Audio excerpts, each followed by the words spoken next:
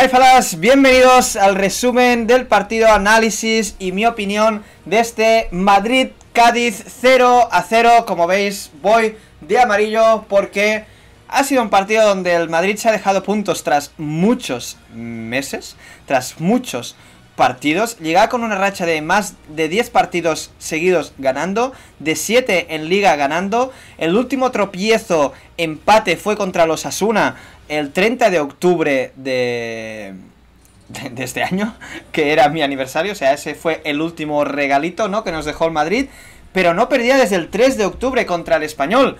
Vamos a analizar un poquito el partido, dejaros un muy buen like, suscribiros al canal y activar las notificaciones, muy, muy, muy, muy, muy importante, a ver si encuentro esto esto que sale aquí. ¿Ves? Esto es lo que tenéis que hacer un poquito más abajo. Dejad un comentario con qué os parece este pinchazo del Real Madrid. A partir de ahora se va a hundir o no. Realmente vamos a opinar de eso. Yo no lo creo. Creo que ha sido un partido... Mm, bueno, de lo normal del Real Madrid, lo que estamos acostumbrados, el Real Madrid no, no es un equipo realmente que juega muy buen fútbol, que tenga muchos mecanismos, lo que sí que tiene son jugadores muy desequilibrantes. Pero cuando el Cádiz de Álvaro Cervera te plantea un partido que es el famoso, eh, famoso bloque bajo, que utiliza mucho el Madrid precisamente para potenciar su contraataque, su velocidad con Vinicius Jr., con Benzema, sus combinaciones, pues cuando juegan, cuando tú estás en el área, cuando estás en el área metido, cuando el Cádiz se mete en el área con 10 jugadores y solo deja al Choco Lozano o Álvaro Negredo un poquito arriba ahí para intentar cazar alguna y hacer la guerra en solitario, pues claro, Vinicius pierde todo ese desborde, pierde toda esa velocidad. Y pese a que lo ha intentado en alguna vez, era muy difícil, ha conseguido algún disparo, algún pase, pero no ha llegado a concretar ninguna ocasión realmente peligrosa al Real Madrid. Ledesma ha tenido que despejar alguna, algún uno contra uno, que para mí alguna, por ejemplo, que no lo ha enseñado era fuera de juego, y al final igualmente la paró Ledesma.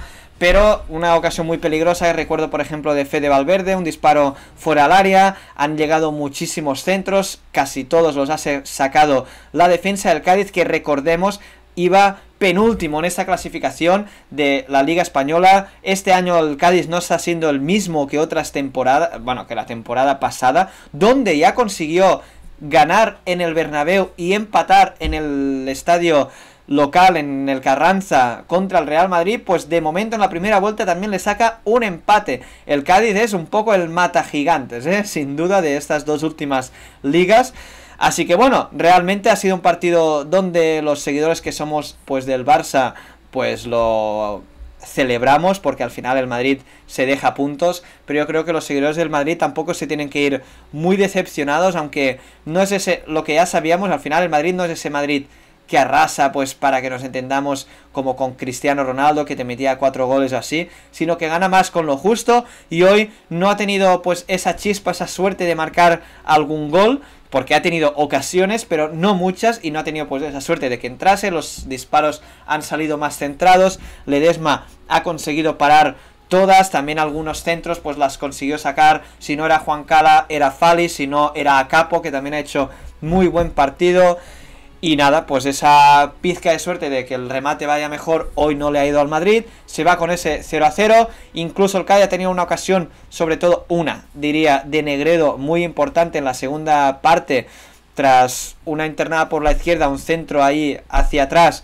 Estaba Álvaro Negredo, ex del Real Madrid, pues para marcar, casi solo, digamos, empujarla. Tenía Álava delante y la disparó demasiado cruzada una realmente lástima porque era posiblemente el gol que hubiese dado los tres puntos al Cádiz y así salir de las posiciones de descenso. No ha sido así.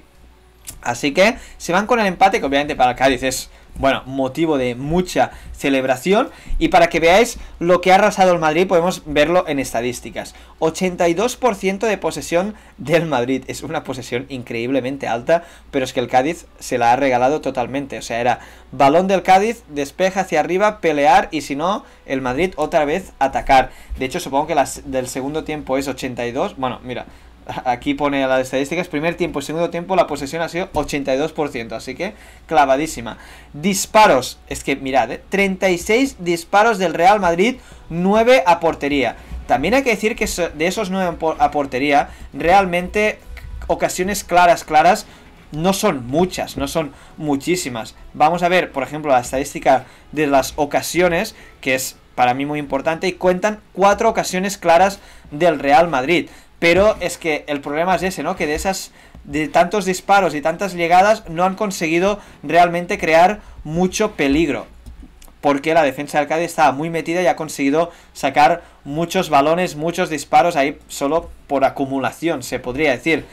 Otra cosa que no le ha favorecido, por ejemplo, al Real Madrid ha sido la, algún rebote, podría haber habido algún rebote. Hazard ha tenido, por ejemplo, una muy clara de cabeza dentro del área tras un pase de cross. Hazard se había internado y había un poco como engañado la defensa y nadie la había seguido, pero por unos centímetros no llegó, solo la peinó y consiguió atrapar Ledesma. Otra cosa que hay que destacar es que en el minuto 26 Casemiro podría haber sido expulsado. Perfectamente.